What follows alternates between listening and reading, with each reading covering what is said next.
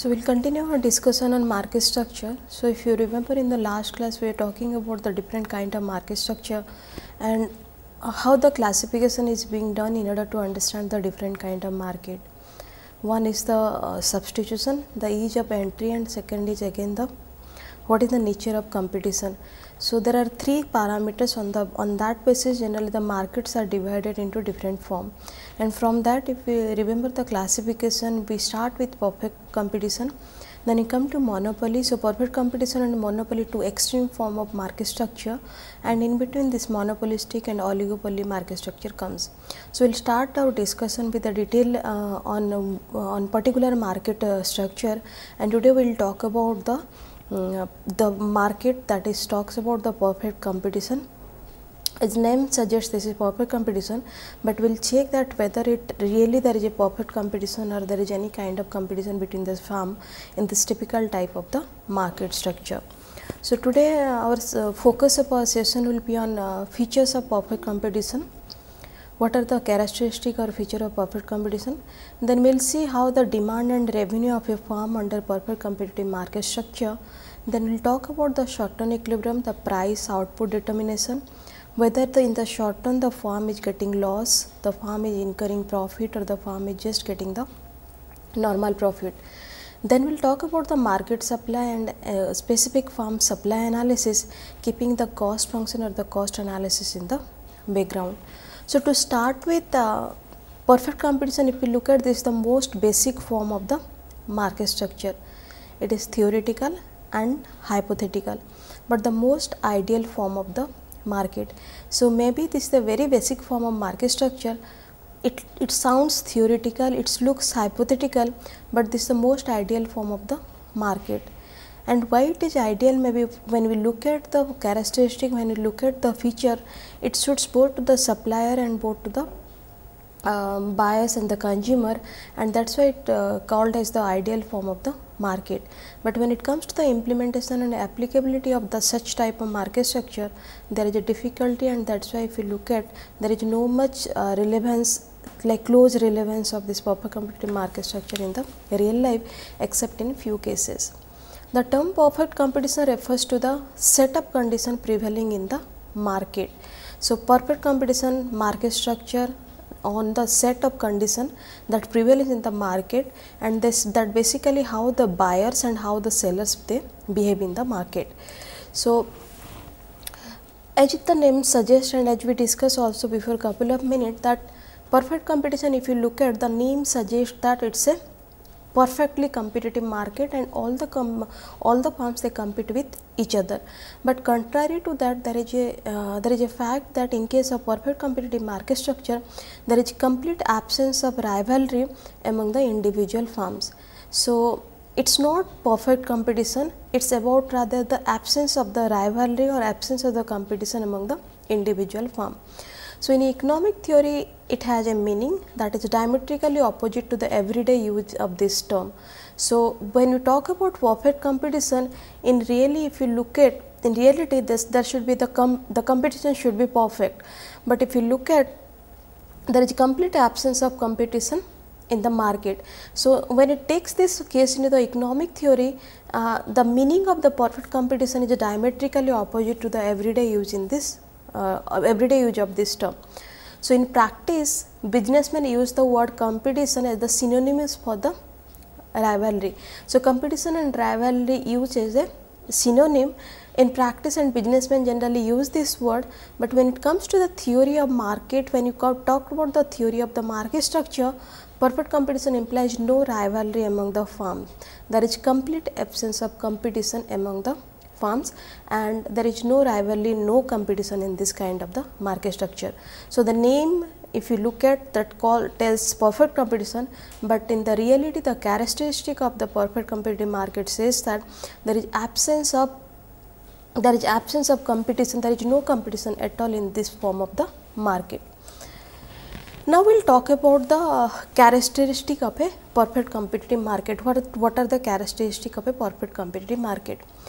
The first and the foremost characteristic of a perfect competitive market is there are large number of buyers and sellers in the market. There are many firms who are producing the product in the market. There are many sellers, many consumers to buy the product. So, there are large number of buyers for the product and there is also large number of sellers of the product. So, in the background there are also large number of producer of the product because that leads to the again to the large number of sellers of the product. So, either you call it large number of consumer or producer or you can call it large number of buyers and sellers in the market. The second uh, characteristic of perfect competition says that it is a homogeneous product. It is homogeneous, the meaning of homogeneous is that it is a uniform product. All the farm they produce uniform products uh, uniform products in case of a perfect uh, competitive market. So, the products are not different from each other on the basis of the price, on the basis of the quality or on the basis of the maybe any type of uh, uh product differentiation. So, homogeneous product is it should be uniform product, but when you take this to the real world application whether whether number of farms they can produce the same kind of product uh, or maybe the homogeneous product, maybe the answer is somehow close to no because the technology used by the farm is different, maybe sometimes the raw material used by the farm is different, the skilled uh, skilled people involved in producing the product they are also different. Maybe the skill is same but the individual is different. So, some amount of the difference is there between the uh, one farm's product to the other farm products, but as a whole it is a similar kind of product or it is a uniform kind of product and rather than uniform or homogeneous we can call it that the similar product that is produced by all the farms in the market.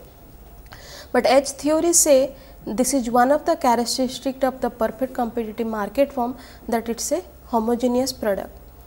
Then the third characteristic talks about perfect mobility of factor of production. It means there is no restriction on the uh, factor of production. Suppose you take the case of labor, the labor they may uh, the laborer may be one working in one firm. They can move to the other firm. They can move to the third term, third firm and if possible they can again come back to the previous firm.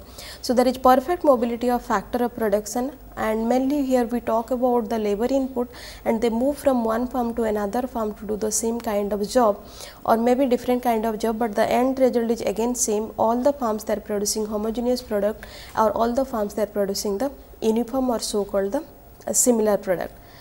Then the uh, fourth characteristic is that it is free entry and free exit in the market. All the firms there is no entry fee if you look at there is no entry fee, there is no restriction in entering to the market. Anyone has the capability to produce and sell, they will be there in the market from the supply side. Anybody who has the capability to uh, buy, they will be there in the market as the buyers. So, from the demand side, if someone has the capability to buy the product, they generally they are in the market, there is free entry from them and similarly from the supply side also any producer or seller if they are ready to supply or they can ready to sell or they are ready to produce they should be there in the market because uh, they have the capability to sell in the market. This is about the free entry. Similarly, when it comes to free exit, there is no, if you look at this, it is not uh, any trapping or anything that stops the uh, seller or the buyer to leave the market.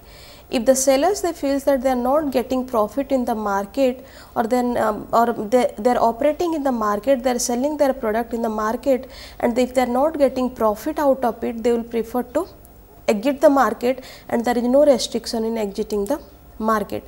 Similarly, for the buyer till the time they feel that the product is worth for them and they are getting it in a good market price, generally they operate in the market or they uh, sell from the, uh, they generally uh, uh, buy it from the market. But once they feel that the product is not worth buying or they do not require that product anymore, they can always uh, they can always come out of the market or they can always exit out of this market. So, if you look at there is no restriction in entering the market or there is no restriction also from the also from coming out of this market. The fifth characteristic is perfect knowledge and what is this perfect knowledge we can reframe this as that that all the buyers and sellers they have perfect information about the or they have full information about the product about the price and about the sellers from whom they are buying the product. Similarly, from the sellers from the seller point of view also they full information about the price and they full information about the product. So, the one of the maybe important characteristic of perfect competitive market is that the buyers and sellers they have the full information about the price of the product about the product and in general what is the market condition or what is the market uh, how the market is doing or as a whole how the what is the seller perspective or what is the buyer's perspective both the seller and buyers they have information about them. Then there is absence of collusion and artificial restraint. Means uh, if you look at since all the firms they are producing the same product and uh, there is absence of competition somehow it may lead to the fact that they will collude and they will charge a higher price which is uh, which is not again a uh, good sign for the market to grow because that way they will try to take charge a higher price uh, and uh, the buyer will be at the other end. And if all the firms they are producing the same product they, the collusion power is also more a strong over here. So, there is still in case of a characteristic market even if all the firms they are producing the product one of the characteristic of the perfect competitive market is that they will not get into the collusion or there is no uh, no form of any artificial restraint or uh, maybe there is no form uh, of restraint no form of control from the authority or any kind of organization in the market. That is always the market forces the supply forces and demand forces. They decide is the they decides the course of action regarding the price regarding the product. The last uh, characteristic which talks about the how the market functions. Whether there is a intervention from the government whether the authority gets into this or maybe uh, whether who is the who controls the demand forces and who controls the supply forces. The fact is that in case of perfect competitive market structure, there is no government intervention at all. Uh, it is the demand forces, it is the supply forces, they decides the price, they decides the quantity. So, if you remember in one of our discussion when we are talking about the equilibrium that supply and demand forces, if the when the demand is equal to supply generally that is the case where we get the equilibrium. And whenever there is a mismatch between the supply and demand generally uh, the buyers and the seller they um, they among themselves they again uh, uh, comes back to a situation which is again equilibrium. And how they comes back to a situation when again equilibrium either they control the demand forces or they control the supply forces. So, in generally there is no uh, intervention from government rather the buyers and seller among themselves they decides the price they decides the output or maybe the supply forces rather than saying buyers and seller the supply forces and demand forces they decide what should be the price what should be the output and there is no form of intervention it is like the invisible hand principle uh, as we talk about in case of a different kind of economy. So, in case of perfect competitive market structure it is a invisible hand principle that the market forces decides everything what should be the price, what should be the product and what should be the market condition. So, if you look at uh, when you analyze or when you look at all the characteristic uh, perfect competition is an uncommon phenomenon in real business world. However, the actual market that approximate to the condition of perfect competitive mod model includes share market, securities and bond markets, local vegetable markets and agricultural product market to name few. So, it looks very uncommon when you talk about the characteristic that there is free entry, free exit or homogeneous product but somehow if you could down the line if you can take out some of the restriction if you can generalize some a bit if you look uh, then in that case the actual market some of the actual market that uh, their feature or their characteristic closely resemble there is a resemblance with the perfect competitive market structure. So, in this case uh, if you look the local vegetable market or the agricultural product market, uh, that product is not different from one another, not much different. Suppose it is rice or a typical vegetable, they just produce that vegetable. Maybe someone is of a good quality, someone is of a bad quality, someone is small, someone is large, but in general it is a similar kind of product. So, we will talk more about the application of the perfect competition, the real one in the later part of the session, where we will see that okay, whether any typical market fits to be in perfect competitive market. But in general, these are the markets like agricultural product market, local vegetable markets, uh, share market, bond and security market, they are somehow close to the uh, they have some feature which is uh, similarity with the perfect competitive market structure. And uh, uh, if you look at even if it is uncommon still some form of market still they adopt it and they call it a perfect competitive form of a market. So, as we know this is a uncommon phenomena looks like from the characteristic as a whole this market form is a uncommon phenomenon, but as a whole when you talk about a perfect competitive model that has been a popular model used in economic theory due to analytical value as it provides the starting point and analytical framework for the pricing theory. So, if you look at maybe from the characteristic point of view it is like very uncommon, but when it comes about the model that gets used in the perfect competitive market structure that is most popular model and sometimes this serve as a base to the many of the other models and it is due to its analytical value as it provides the starting point and analytical framework for the pricing theory. So, then we will talk about that how what is the demand and what is the revenue of a competitive farm or as a industry as a whole or what should be the value of total revenue, how total revenue is calculated, what is the demand that we will check for the typically competitive farm. So, we will take the revenue part first and total revenue for a farm is selling price times the quantity of goods sold. So, total revenue is price multiplied by the quantity. If price is 10 rupees and quantity sold that is 100 units, total revenue will be uh, 1000 units because P is 10 and quant Q is 100. So, total revenue is in the very simple manner it is nothing but the uh, uh, nothing but the uh, nothing but the total revenue or the total output what they total revenue they get by selling the quantity that is produced by them or that is getting sold by them. Average revenue tell us how much revenue our farm receive for the typical unit sold. So, basically this is the average revenue that is revenue per unit of the output and average revenue is the total revenue divided by the quantity sold that is total revenue divided by Q. Then the revenue of the competitive farm in perfect competition average revenue is equal to the price of the goods that is PQ by Q which comes to P and marginal revenue is the change in the total revenue from an additional unit sold and for a competitive firm the marginal revenue equals the price of the goods. So, if you look at in case of perfect competitive market structure the price is equal to the average revenue which is also equal to the marginal revenue.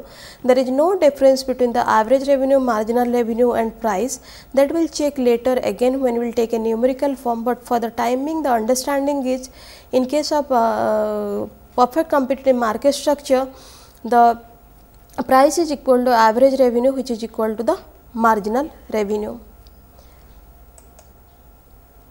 So, this is the uh, typical example that how we get the total revenue, average revenue and marginal revenue. Q is the quantity, the number of units sold, P is the price and total revenue is nothing but the price multiplied by quantity. Average revenue is uh, that is total revenue divided by Q this because this is the per unit revenue and marginal revenue is the change in the total revenue with respect to change in the Q. So, if you take that why this P is equal to average P is equal to average revenue which is equal to marginal revenue. Suppose total revenue is equal to PQ then uh, average revenue is total revenue by Q. So, this is PQ by Q and this comes as P and similarly marginal revenue is DTR that is by DQ then this is DPQ with respect to uh, Q and again if you simplify this then this is DQ DQ which is equal to P. So, price is equal to the average revenue which is equal to the marginal revenue in case of the uh, perfect competitive market structure. So, in order to determine uh, that, uh, just how much each firm wants to sell or how much each firm is willing to offer uh, at prevailing market price, we can analyze using the concept of cost. So, how much the firm is uh, how much the firm is willing to sell or how much the uh, each firm want to sell that can be uh, decided on the basis of the cost function or that can be decided on the basis of the prevailing price. So, we will analyze that by using the concept of the cost. Then uh, the market demand curve for the whole industry and uh, if you remember in the previous class like when we are talking about that how much they want to sell or how much that depend always depends on the profit of the uh, whatever the profit they are getting.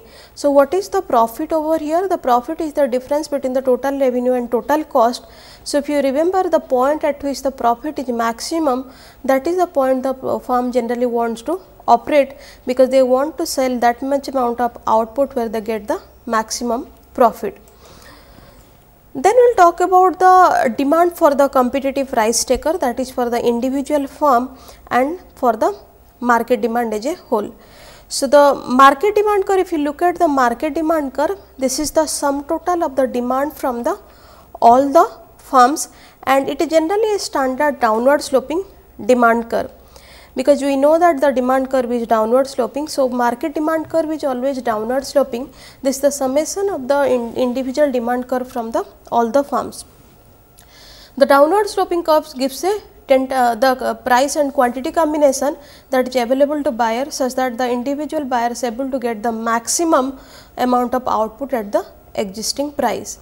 And the demand curve of the individual farm is horizontal straight line showing that the farm can sell infinite volume of output at the same price. So, in case of a competitive price taker, the demand curve for the farm is the demand curve for the firm is straight line that is horizontal and um, parallel to the x axis that is horizontal, axis and what is the significance of that? The significance for that is that whatever uh, amount the firm wants to sell, they can sell at the same price there is no uh, restriction on the uh, amount what they are going to sell because price has to be constant at that point. Any farms, any amount they would like to sell, they can sell it that typical market. It's a typical market and typical price. Now, what is market supply? Market supply is upward sloping giving various combination of price and output shows the maximum output any farm is willing to produce and supply at each specified price. Market supply curve is the horizontal summation of the individual supply curve. So, this is the demand for the competitive price taking firm. In the market panel A talks about the market industry as a whole, panel 2 talks about the demand curve facing the price taker. So, supply is upward sloping, demand is downward sloping. The point at which demand and supply intersect each other that is the equilibrium point and corresponding to that we get the equilibrium quantity that is Q0 and equilibrium price is P0.